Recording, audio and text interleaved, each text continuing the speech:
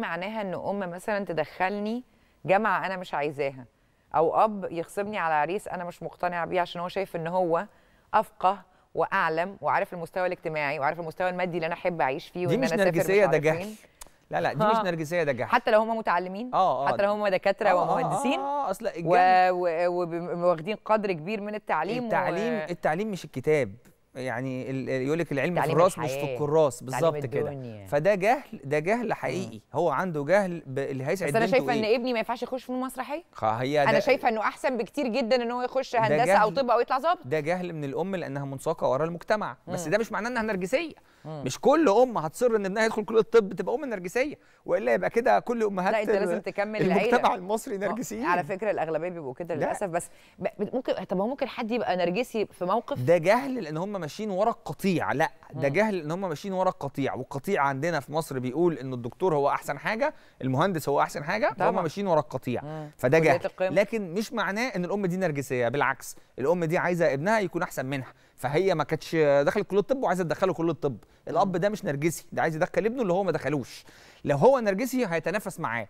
وهيبقى عايز دايما يخليه تحتيه دي- ويخليه دي يعني دي ويخليه إيه ويخليه إيه عارفة الاب. عارفة الأب اللي هو معاه فلوس والعيال محتاجة فلوس وما يديهمش أنا عارفة البخيل ويذلهم. شفت البخيل كل وأنا. أول شهر يديهم آه، وياكل الحلاوة اللي في إيديهم ويخش يخبي آه آه بقيتها. ولازم آه، كل أول. شهر يجوا يأدوا فروض الولاء والطاعة عشان يديهم المصروف صح. هو ده الأب النرجسي فاهماني ده نموذج شائع عندنا في المجتمع لا ده نموذج نادر. ده يعني ده مش نموذج شائع لما بيطلقوا من بعض؟ نادر، ده نموذج لما نادر. بيطلقوا من بعض لا، ويقعد يذل في العيال. لا لما بيطلقوا من بعض ويذل في العيال فهو بيعمل كده عشان يكيد أمهم مش عشان العيال نفسهم. ده يبقى مريض أكتر. لما ده كده ما هو مريض بس مش باشا ده نرجسي. كده لازم يتعالج بجد. ما هو ده مريض بس مش نرجسي. أنا بتكلم على الأب النرجسي. آه الأب انت أنت النرجسي المصطلح غايظك قوي كده. الأب أنت النرجسي. أنت غايظك التشخيص الغلط وإن إحنا بقينا نستخدم المصطلح قلت لك قريت على النت. أنت دي أكتر حاجة في بالظبط. كده.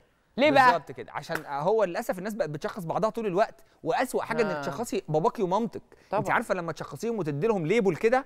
كل كلمة بابا هيقولها عشان هو نرجسي كل كلمة ماما هتقولها أصل هي ست نرجسية أي أنا أو أشخص إخواتي أنا بقى أنا صورة أبويا وأمي آه. فاهماني نزلتها لسبع أرض آه. من إن أنا كنت بحترمهم نزلتها آه. سبع أرض ده لما كان أبو إبراهيم كافر فربنا قال له إيه. وصاحبهما في الدنيا معروفا واتبع سبيل من أناب إلي طبعا فاهماني وإن جاهداك على أن تشرك بالله ما ليس لك به علم فلا تطعهما وصاحبهما في الدنيا معروفا. واتبع سبيل من اناب الي أنا بقى كسرت صوره الأب والأم وبقى ماما نرجسيه فأي كلمة تقولها لأ عشان هي نرجسيه أصلا بتغير مني. بابا نرجسي أصله بيغير مني. فاهماني فطبعا أنا أنا, أنا ضد لي التشخيص. الأب والأم رموز والله حتى لو كان نرجسي. يعني زي ما بيقولوا على راسي. هو كده بالظبط. ما ما ما بتناقش هو كده ما بالظبط. بفهمش الكلام هو ده. كده بالظبط. هو كده بالظبط. ولعلمك وده ده, أمر ده, ربنا. ده ناس بتبقى قليلة جدا وده بيبقى من أنا بشوفها سبحانك يا رب من رضا ربنا عليك في الجزئية دي. إنه مش عايز يديك ذنوب على الحتة دي. بالظبط كده. إنه ممكن يسترها معاك عشان الحتة دي لأنه ما بيبقاش في ناس بتعملها بالظبط كتير. كده. تخيلي بقى إنه البنت اللي تتكلم على امها وبتقول عليها أنا اقعد سنة ما ما اقطع عمي وأحلف آه. ان أنا ما رايحة لها تاني. آه. شفتي؟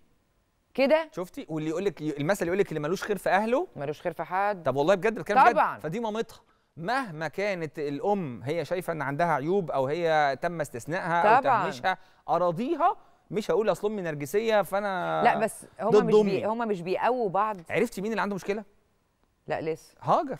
لا مش مقتنع. هاجر اللي عندها مشكلة؟ مش مقتنع. عندها مشكلة مع أمها وعمالة تعمل يعني إيه. هاجر الولد لو جيت قدم الراجل ده لو جيت قدم هيبقى تمام هاجر الدنيا عندها يعني؟ مشكلة مع أمها.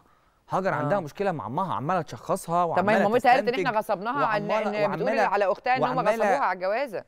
بغض النظر الأم قالت إيه؟ يعني إيه؟ يعني لما مامتك تبقى رافضة حاجة ترضيها وتقنعيها ولا تقطعيها؟ أغيظها. ده حل ربع وهي عارفة أنا كنت بعمل فيها إيه. اغيظها لحد ما تسمع كلامي آه. وبعد كده أقول لا أنا هسمع الكلام بس أنا كنت بعمل كده عشان اخليكي تحبيني أكتر. جميل. يا ده ده ده طريقة تانية إيه. بس في الآخر آه. في الآخر هراضيها. آه مش طبعا هبقى واخدة ضدها آه طبعا. واحدة ما بتكلمهاش بقالها سنين و... لا ده نوع من أنواع الدلع وإن أنا أنكشها وال- والتانية و- و- والتانية والتانية. عمالة تستنتج استنتاجات انه هي هترفض العريس فأنا هدخل معاها في صراع. يعني المفروض. هي حتى رفضت العريس. أقنعها ولا أدخل معاها في صراع؟ لا ده أنا شخصت أمي وبقت أمي نرجسية وأنا خايفة من أمي أصل هي اللي هتبوظ لي الجوازة. اصله التاني أهم عندها من أمها. لا بس التاني قال أنا هستحمل. هي هي. ما أنا بقول لك مين اللي طب عنده هو التاني ما مشكله قالهاش التاني جدع؟ ده التاني جدع إنه قال لها أنا هستحمل. إيه؟ ده التاني أحسن منها. إيه؟ قال لها مالكيش دعوة أنا هستحمل. لكن طب والجدع ده- ماما هتبوظ الجواز أنا أصل. ماما ست مش طب عارف والجدع إيه. ده هيستحمل قد إيه؟ اللي يستحمل قد إيه. يعني مامتها لحد ما تعمل فيه إيه فبعد كده يقول لك أنا حقي بسناني و- ولا حقي أنا برقبتي. أنا هجري. آه حقي برقبتي. قصدي حقي بسناني. آه، أنا شفت أنا بقول الامثله فظيعه إزاي. أقول أنا حقي برقبتي ومش هكمل. آه. فده لغايه إمتى بقى؟ هو يقول لك أنا جبت آخري يا عم بلاها جواز. على حسب الله. قدر حبه لهاجر لو. بيحب هاجر آه، بقدر كبير هيستحمل حاجات كتيرة. لو بيحبها قليل شوية وهيزهق وهياخد بعضه ويتكل على إيه ده الله يعني اللي بيحب أكتر بيستحمل؟ طبعا طبعا الحب طبعا. يعني استحمال؟ أنا اعرف واحد استحمل واحدة. وأبوها. نفسه ما يستحملهاش ولحد دلوقتي مستحمل عشان آه. الحب الحب يعني ال- الحب يعمل أكتر من كده. والله أهو الحب أهو يصنع المعجزات مين بيستحمل اللي قال لك كده؟ الحب مش ما ما حدش بيستحمل عشان الحب الواحد بيستحمل عشان المقابل اللي بياخده. ما هو أنت لو ما بتاخدش مقابل ما هو. وبتاخد دلع بتاخد كلمتين حلوين بتاخد حنية بتاخد كويس. احتواء بتاخد احترام كويس. بتاخد إن أنت اللي قدامك رصيد. عمرك ما هتستحمل. ما هو الحب رصيد بيزيد وبيقل. يعني لما ماما تزعق له وأنا راضيه بكلمتين آه. هيستحمل. ما هو الحب لكن رصيد. لما أنا ما ما أقولوش الكلمتين أيوة. رصيد. عشان الحب رصيد. بيستحمل ببلاش بي- يا حمودة. طيب ما هو ده ما إحنا بنقول أهو الحب رصيد. فهو هيستحمل طول ما هي هاجر ليها رصيد عنده. آه. لما رصيد هاجر عنده يخلص ها. ولا هيستحملها ولا هيستحمل أمها. طب هو إمتى الرصيد بيخلص بينا متجوزين لما أو بين إحنا اللي لسه لما إحنا ما بين بنشحنش. رصيد. إحنا لازم طول الوقت نشحن رصيد. رجالة وستات. يعني إيه نشحن رصيد؟ يعني آه الراجل ممكن كل شوية يجيب هدية يقول كلام حلو ويطبطب ويدلع ويصفر ويخرج. فهو كده بيشحن رصيده زي الفل. يا سلام. وهي من غير كمان ما يقول كلمة وهي حلوة. كمان ما بيقول ما أنا بقول بيدلع. ماشي. وهي بيدلع كمان لك أجيب لك حاجة. وهي كمان آه. لازم تشحن رصيد طول الوقت. إيه لأن بقى؟ هي تيجي على نفسها في أوقات وتستحمله في أوقات مم. وتبقى حنينة وطيبة لأنه هو محتاج ده جدا منها. الخناقة ما ينفعش تستمر قد وإنه إيه؟ ساعات كتيرة تحط أهل أهله قبلها. يعني؟ إيه؟ ده بتشحن رصيد في الحتة إيه دي اللي أهله قبلها دي؟ آه ساعات كتيرة تفضل بتلعب في الثوابت ليه دلوقتي. انت بتبوظ الثوابت. ليه يا دكتور. ليه. وأنا هقفل الحلقة تعمل كده؟ يعني إيه اهله قبلي. يعني ساعات كتيرة بتشحن رصيد عنده بانها بتشتري خاطر اهله. آه دي حقيقة. بس. أو اعمل لما نفسي مش سامعه بالظبط أو أعذبه هو بدل ما أجي على أهله فأنا كده بشتري أقول له هو ب- اتضايقت بشحن رصيد عنده هم. أنا كده بشتري. خاطره وبشحن رصيد عنده مم. فأنا هستحمل أهله وأستحمل اللي بيعملوه يعني لما لما حد يديكي هو كلمتين ألومه هو ما ألومهمش هم آه زي ما هو آه. كده زي ما هو كده خطيب هاجر بيقول لها ما تقلقيش أنا هستحمل هو. كده بيشتري بيشحن رصيد عند هاجر بأنه هيستحمل اللي أمها هتعمله فهو بيشحن. رصيد عند مين عند. هاجر الخناقة ما ينفعش تستمر قد إيه وإلا تقول مش هيكملوا مع بعض مثلا. يعني إيه خناقه ما ينفعش يعني؟ لو هم متخانقين دلوقتي يعني إحنا آه. مثلا قلنا دي قطع أمها سنة دي كارثة طبعا. آه. لو اتنين متجوزين وهم اللي ما, ما بيتكلموش المفروض أطول خناقة تبقى قد إيه؟ لا هو أصلا المفروض اللي متجوزين ما آه. يتخانقوش أكتر من إنه يباتوا ويصحى عليهم الصبح يتصالحوا.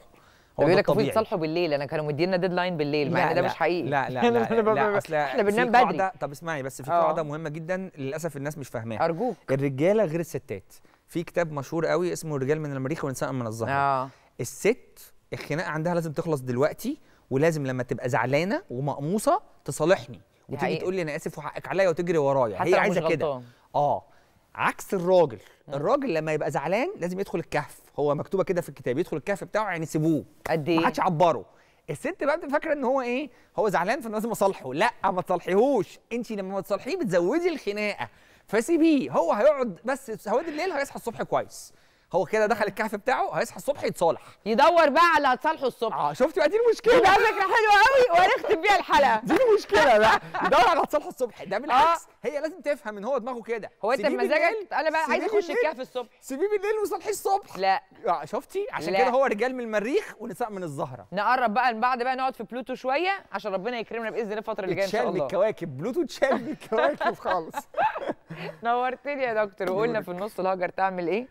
وهي بقى تضحك على مامتها بكلمتين حلوين. بس هي كده. بتقول مامتها ما بتترضاش بكلمتين حلوين. لا لا لا هي لو عرفت تخلي الحكاية جاية من ناحية مامتها وكأن مامتها هي الشخص آه in control أو in charge هي اللي. مسؤولة عن كل حاجة. بالظبط كده ماما ده ماما حتى دي هي بوكيه اللي اللي هتمشي جايباه الجوازة هتمشي الجوازة. هتمشي الجوازة لأن هي ما يفرقش معاها هي هتتجوز مين؟ هي يفرق معاها إنها تم استثنائها واستبعادها من القصة اللي فاتت. طب أنا هسألك فبمجرد ما سؤال، اديناها ال role سؤال. خلاص اتحلت. يعني دلوقتي تروح تستسر بمامتها قبل ما هو يجي؟ قبل ما العريس يجي يتقدم تقول لها ماما في واحد اتنين تلاتة أعمل آه إيه؟ أيوه أيوه. طب افرض خربتها قبل ما ت- قبل ما وتكسب تبتدي. مامتها ها. وتخلي مامتها تبقى في صفها مم. تمام؟ عشان في الآخر مامتها توافق على الجوازة ونديها ال control نحسسها بأهميتها وإن الجوازة دي مش هتتم إلا لما وافقت لو ف... لو فشلت. الحركة دي هي هتبعت لنا أكيد على ال... متفقين. على السوشيال ميديا. متفقين. بص نتراهن أنا وأنت. أنا بقول لك لو هي عملت كده صح ها. بس هي عندها مشكلة مع مامتها. هي مش هتعمل كده ابدا صح. لأن لا، هي عندها مشكلة. مع مامتها وعندها تشخيص مسبق لمامتها. هي دي هتجرب؟ أصل ماما نرجسية. لا، هتجرب؟ لا هتجرب وهتظبط المقادير زي ما أنت قلت. بس ماشي. لو طلع إن مفيش فايدة هتبعت تقول. لنا. بس كده هنتراهن. اتفقنا. يا جماعة الحلقة دي هنخلصها على رهان بيني أنا ودكتور حمود